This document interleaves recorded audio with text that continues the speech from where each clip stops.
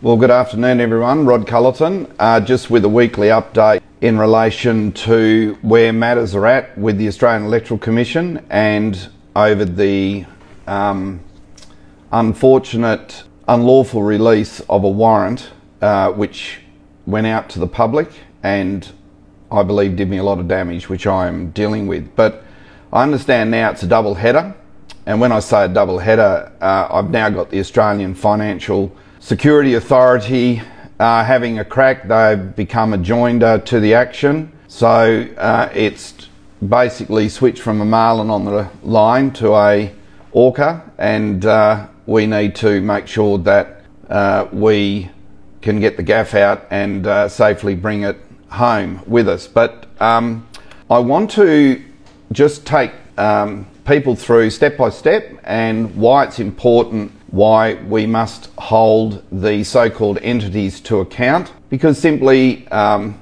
we're no longer a we're no longer a body politic really and we need to come back and ascertain our rights and uh, become a social compact or construct really is is the better way to describe that and I want to take you through that because this is where where they claim that they have the authority, the head of power to act, well, in most cases they do not. Now, I want to play you a recording, and um, you're going to find it very interesting because I've yet to. Um, I'll switch this around and show you the correspondence uh, to date, and that is. Uh, let's just turn this around here now. I'll try and take it up so you can see it, but pretty well that's where it is at the moment.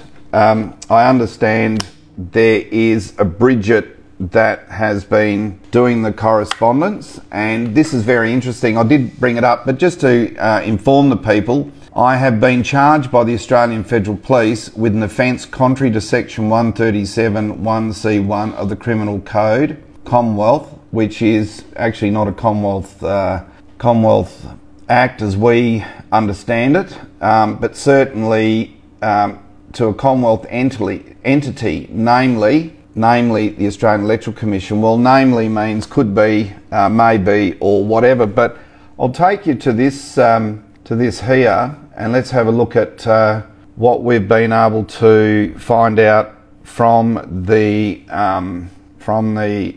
We again wrote to the Australian Government Attorney General's Department um, just to find out about. Uh, we request the instrument Australian Financial Security Authority Act relies on for royal assent. Anyway, I'll make these documents um, available. And then we went down and uh, we, we basically set out the Bankruptcy Act. I request the instrument that provides that the Bankruptcy Act 1966 made or amended post 1973 relies on for royal assent within the meaning of the section 58 of the Constitution and the second clause preceding the Constitution to make Commonwealth law. Well, as we go down here, uh, we simply see here, also this is the Commissioner, he's satisfied that the documents do not exist within the department's record holding. So we have a real issue and this is where we um, have parted, like I say, we do not have a uh, body politic anymore. Uh, we have no social uh, construct, and this is why we must start to take action ourselves and um, and deal with it. But look, I'll I'll um, let you know what basically has happened since uh, I'm going to play your recording because what I've been doing is um, trying to find out the prosecutor who is handling my matter, and I have rung for the third time and I want to let you uh, listen to this recording because it's quite interesting. I think you'll find it quite interesting. Uh, if you ring the Commonwealth Director of Public Prosecution, because I'm under an alleged offence, not only from the Australian Electoral Commission, but also from, as I understand, from the Australian Financial Security Authority. But let me just let you have a listen to this recording.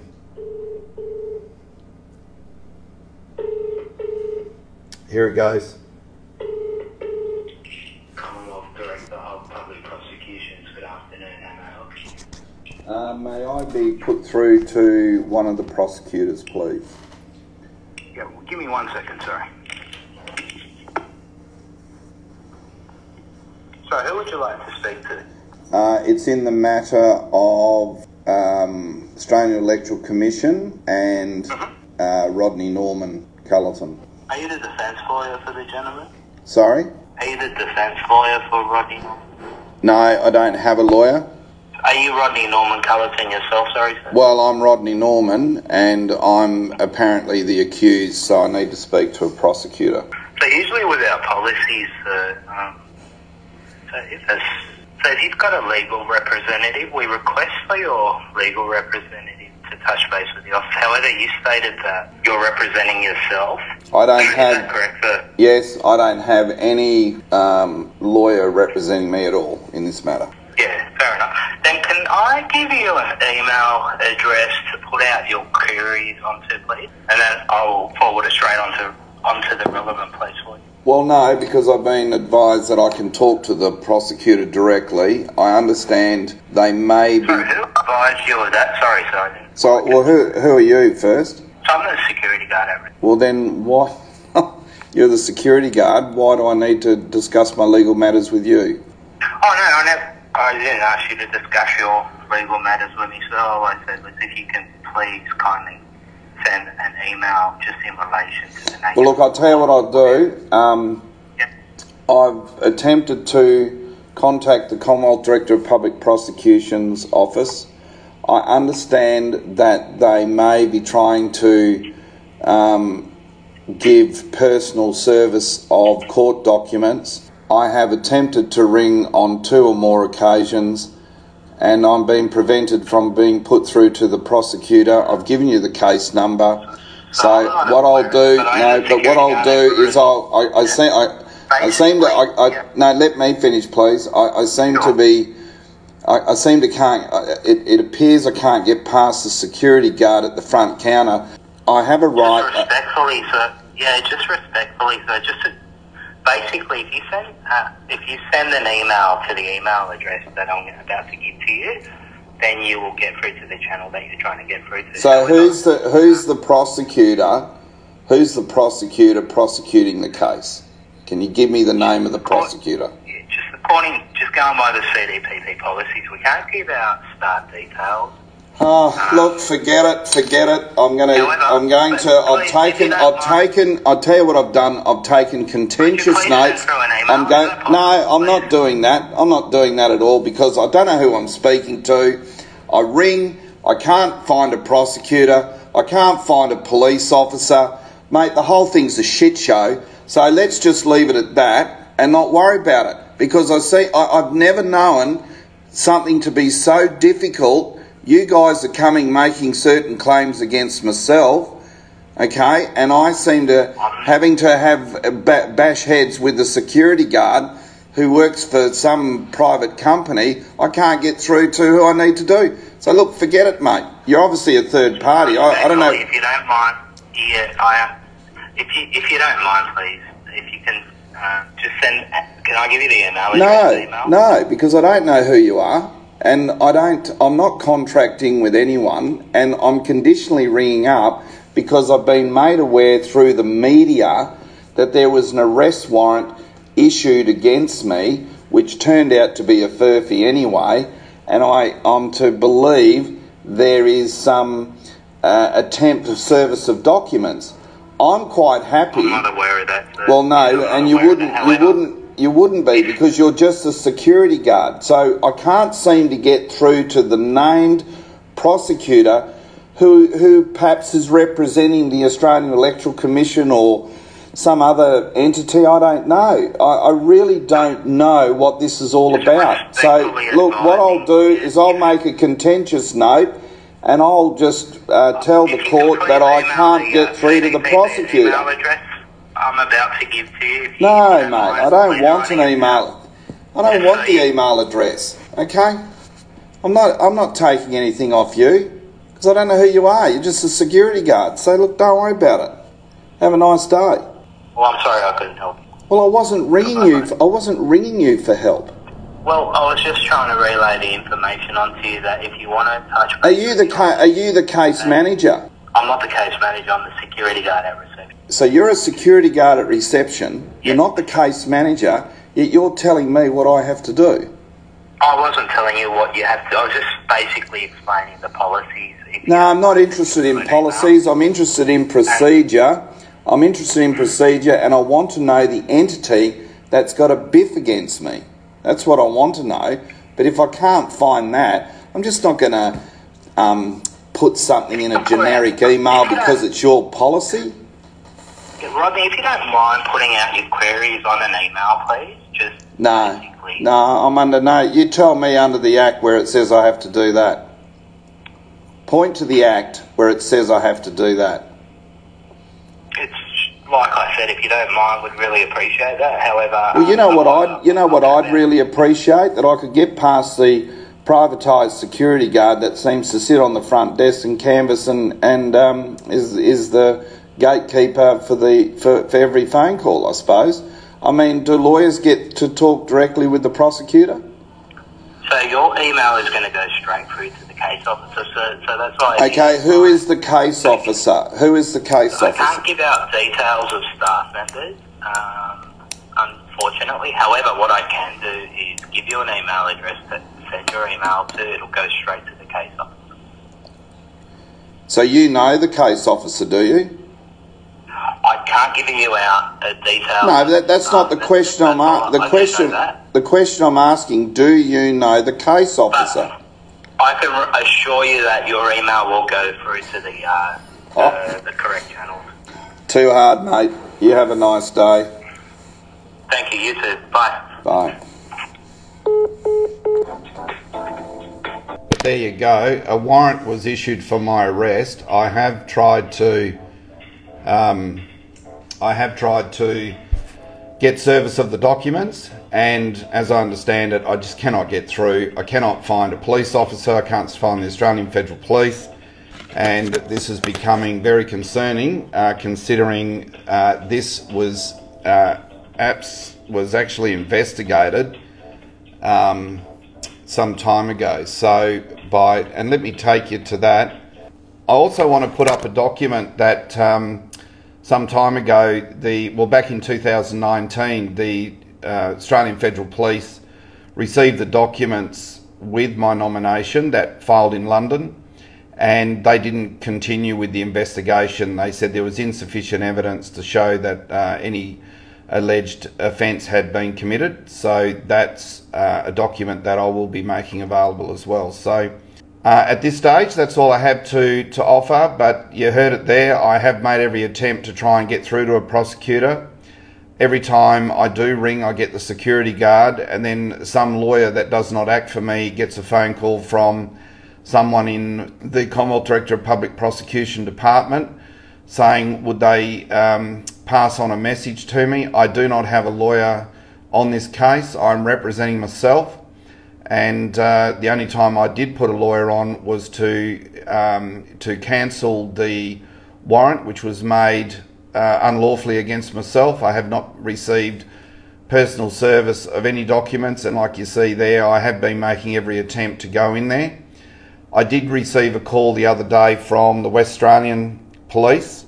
I'm not sure uh, what the WA Police, uh, why they're getting involved. This is a federal matter. This is Australian Federal Police, uh, not a state issue. So I'm not sure why the WA Police should be wasting the WA taxpayers' money to uh, to basically try and make contact when I'm actually making direct contact within the correct jurisdiction. Uh, well, as they claim it to be, I say it's in it- it's different, but I'm certainly making every attempt to receive these documents because I do want this to proceed. I will be holding the Australian Electoral Commission to account. I will be making sure that if it goes to trial, it will be done with a jury as a matter of right under our constitution. And I will be making sure that uh, it goes under the correct jurisdiction of the laws of the Commonwealth. So this is why this is a very, very pivotal case in the Australian history. And um, but we're not off to. Well, I'm happy. I'm in the, the starting barriers, but I just can't seem to get the other horses to settle down. They're breaking the gate. Some won't go into the barrier, obviously. So um, we want to run this big constitutional race. Uh, everyone's round at the finishing line, and and uh, we've got no starters at the moment. But I'm ready to run, and I've I've got a good jockey. So um, I'll keep you all informed. But uh, that is my weekly update. Well, uh, I return. Uh, like I said, uh, g'day everyone. I just wanted to inform you of a official statement that was provided by me. Uh, I have taken all the necessary steps. I have. Uh, it's it doesn't say it's sensitive. It's an official statement, and I believe it needs to be brought to the people's attention. Um, and it was made by a leading senior constable of police of Victoria. Now, um, I want to just quickly run through. I will make the document available for um, people's viewing. But what is interesting is this is is good that a number of police are now starting to uh, know their position. Uh, they know that they are a constable and a constable does not have to, uh, under law, take instructions from a higher ranking sergeant. Look, it is redacted. Um, it was uh, the statement was made and signed by the officer on at 1:29 p.m. on the 15th of June 2022 at Bacchus Marsh, and uh, as you can see there, it was witnessed by a Richard Taylor Senior Constable 3464 115 117 Main Street, Bacchus Marsh. Okay, so uh, I have given it to a well a um, a police officer, tactical response fellow in uh, Victoria. He has perused the document and he tells me uh, it's in the right format. It definitely, on the face value, it it um, it is what it is appears to be. And like I don't make any claims here, but I think it's important. Well, no, it's not. I think I know it's important um, that we bring this to the um, people's attention, especially in Victoria. I'll go down here. Um, okay, at point four, it goes to say, at point four, uh, if I if I just bring that up a bit, I have new information that the Victorian Police Fraud Squad investigation into the red shirts matter was interfered with, obstructed, and prevented by senior police high up in police command from being conducted normally and properly. It may also have involved other people outside Victoria Police Command. Okay, so then he goes on at point five. There needs to be an investigation in how the red shirts investigation was conducted by Victoria Police Command. Okay. The actions of the, of the suspect Labor MPs in the red shirts rort have never been properly investigated due to the interference and obstruction of the fraud and extortion squad investigators by senior police in police command. So if I just take you down here, I mean, it is very disturbing uh, considering uh, we have we have certain law officers um, not, you know, carrying out their due diligence. And I'll take you down here. This is interesting. I think it's at point 86. Um, okay. Now, if we go here, police have requested interviews with those 16 MPs, but they all decline. Well, there they are there. I'll bring them up and I'll just take you through them. So this is very disturbing and uh, I believe it should be brought to the people's uh, attention uh, uh, so that you can elect what needs to be happen. I've taken my own view, my whole team has taken its own view and uh, we believe action must be taken immediately.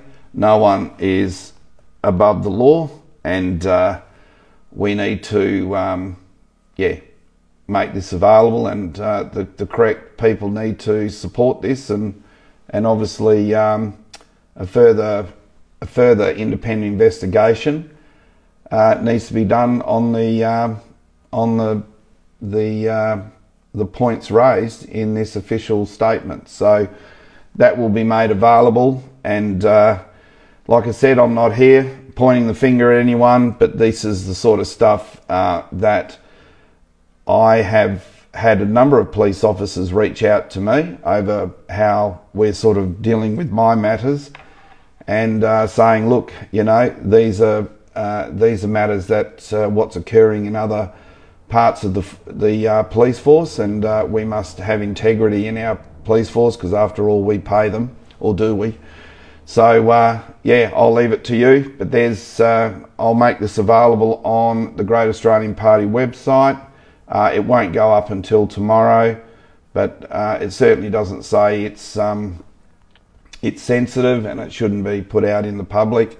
Um, and uh, yeah, I'll leave it to the Australian people to be the public jury, and uh, yeah, you decide what uh, what action uh, is required to to be taken because at, after all, we pay them to uphold the laws. We pay for a lawful um, judicature, we pay for a lawful legislator, we pay for a lawful um, parliament and government. And uh, what's happening in Australia, just uh, I shake my head, and uh, we need to all come together and start uh, dealing with this because if the authorities won't deal with it, well, then the people have the power to deal with it. So I'll leave it at that. And uh, thank you very much, and thank you everyone for continuing your support um, in certainly holding the hierarchy to account. Bye for now.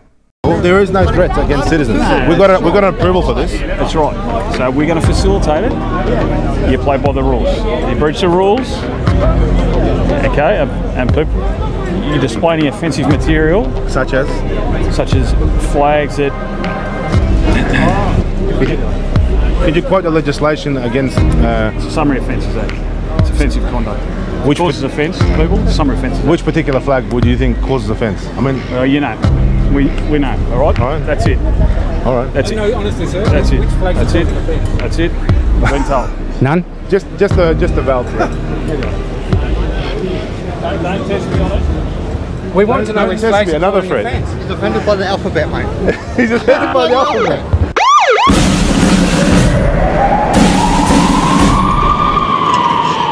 Hey going guys, here we are at the massive march for neutrality. It's amazing that so many Aussies are out here today having their say, marching for neutrality to keep Australia out of the war. Anthony Albanese needs to wake up and smell the coffee and have a look at what's going on here. want to say a big thank you to all the great Australians here today. Look at the sentiment here. People are saying no to war. People are saying yes to neutrality. People are saying that they disagree with Albanese's decision to send our troops or our money or our equipment overseas. All the streets are blocked off. The police have blocked off half the city. We've got many people here having their say, saying no to war, saying no to Australian involvement. Whatever happens overseas, that's overseas business. Australians have been dragged into overseas wars, you know, ever since the British colonised this place. Enough's enough. We have to stand up and say no. Albanese, no more Australian funding overseas for wars. Spend the money at home, spend the money here. We do not want our diggers or our money going overseas to the Zelensky regime. Doesn't matter what side you want to go for, Russia or Ukraine. Let's put Australia first. Your name? Bruce Shillingsworth, Murrawari Budjiti man. That's beautiful.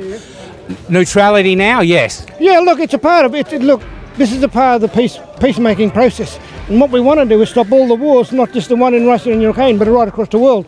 And we've got to stop the Australian government from the money that they spent out there. We've got to stop that because look at it in our own backyard. We've got a lot of problems and issue here, especially with the original people of this continent. Why are we spending billions and billions of dollars on war instruments and weapons in those countries? We need to stop that as a collective of people and a collective of all Australians. Because we are here, we've got to protect ourselves at the end of the day. But let's make these bastards accountable. Let's put the dark forces on notice. And let's say enough's enough. Just a couple of questions, is that cool? Sure. Okay. Neutrality, the rally today, do you support it? Yeah, yeah, yeah. Yeah, not, I'm not for the Ukraine uh, position or Russian. I just want peace. And I think, uh, particularly for Australia, we should be pulling back and not getting involved in other conflicts which aren't necessarily directed by governments and might be from some powers above the government. We call it the military industrial complex or the destruction business. Yeah, yeah. And we don't want to be fodder. Should we be sending billions more and more weapons of mass destruction or no? No weapons. No. No money? no money. Neutrality now? Yeah, and a peace deal. Or just make help them talk. Like while we're all looking at this, there's other things going on which mainstream doesn't want to even talk about. Which I hear it. No, but people like yourself, you want to get that independent view out there, and uh, the more we talk about it like this, that'll just spread to a tipping point when sooner or later people just will wake up and know what the real story is. Thank you very much. Uh, why I'm here, I'm most probably not like the rest of the crowd, but when calling for an independent Australia, uh, you get told by a US billionaire that owns all the media in Australia that you're a traitor to the Australian war cause, um, that it's a crime to call for an independent, neutral Australia. Well, I don't care who else is here. I'm going to be here. Remain neutral? Absolutely. It's not our conflict.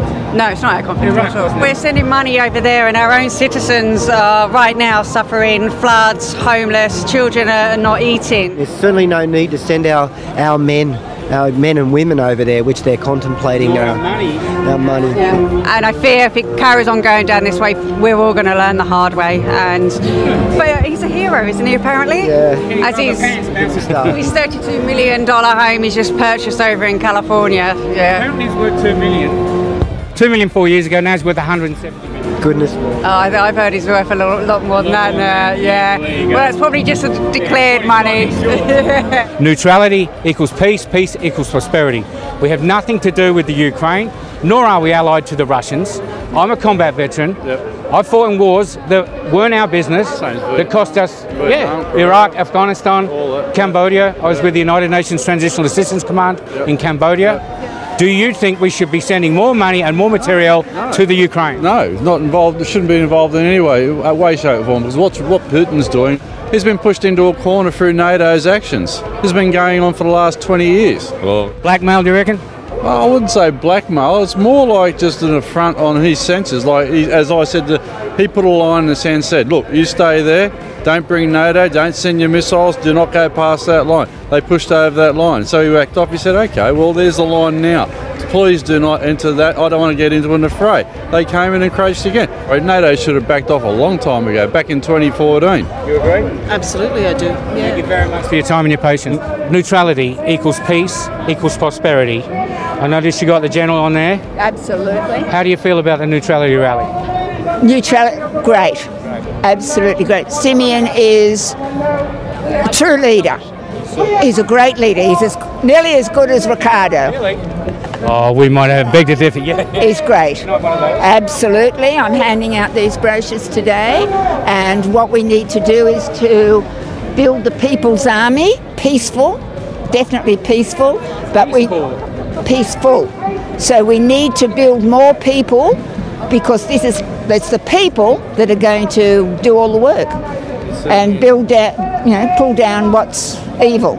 Should we sell more money and more material to the Ukraine? I think everything we have just about gone there. Thank you to Penny Wong. Uh, the neutrality, I think it's a wonderful thing. We need to seek the truth.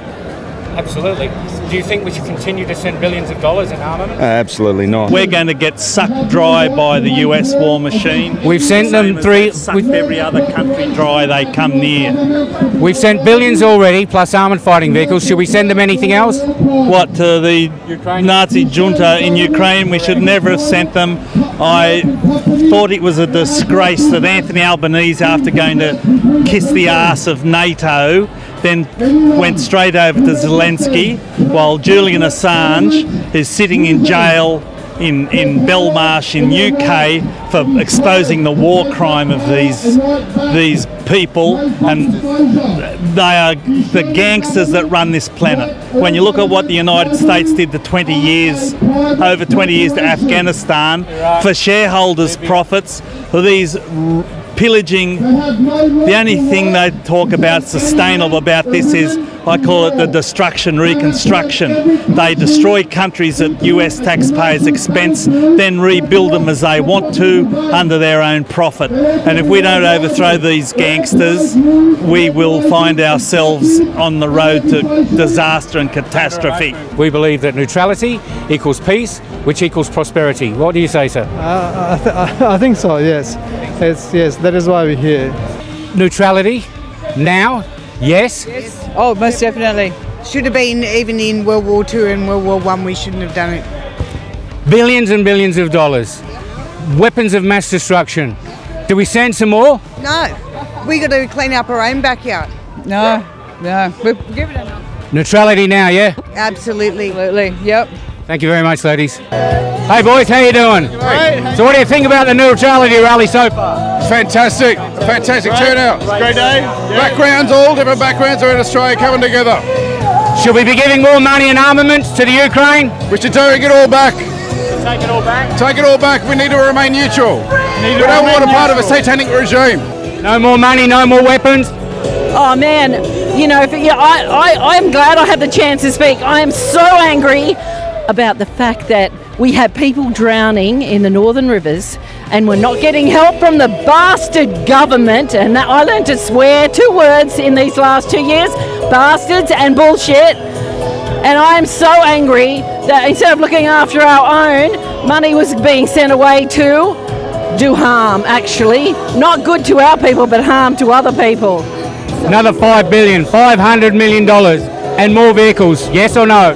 No, we should not send anything over there. Let them handle it, okay? And we're going to handle our people, look after our people here in Australia. Neutrality now. Neutrality now and forever, actually. Neutrality rally. What do you think, sir? Well, I'm glad it's happening. There's got to be a louder, louder voice on all this. Excellent, excellent. War has solved nothing. War has filled the pockets up of the elites. Correct. We believe neutrality equals peace, peace equals prosperity. Switzerland's never been in a war. They're the richest country in the world. Hello. On them. Good on, Good on them. Sir, veteran? Join a club. Paulie. Re- Recon troop, 1st Armoured Regiment, cavalry troop.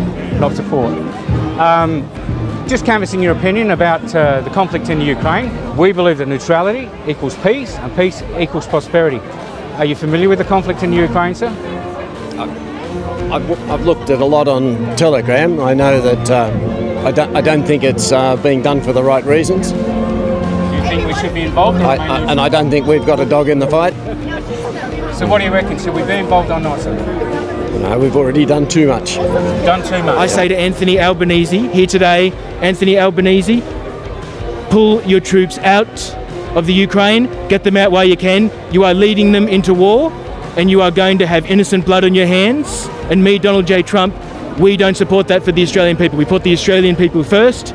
We put our country first and we put our citizens first. We do not put them last and simply drawing blood of the innocence of our beautiful people. We don't do that. So I'm here today to make sure that we do not go to war. So you don't want Albanese to send another $500 million or any more military weapons? 1000% no. We don't support any more $500 million. We don't support another $284 million sending the troops there. We don't support any more. no, no more armoured fighting vehicles. We don't support any fights. We are here, and I'm pro Australian, and I love this country. I love the Australian people. I love our workers. I love the Indigenous communities. I love every single individual from different cultures, of different religions in this country. And I think we should stand together and I think we should say no to war and yes to peace. That is my message for you as the Australian President. This four page document is straight off the United States Marine Corps Gazette. And when you read this, it certainly doesn't paint the picture that you get in my mainstream media. I'd urge everybody to read this. This is the August edition. United States Marine Corps Gazette.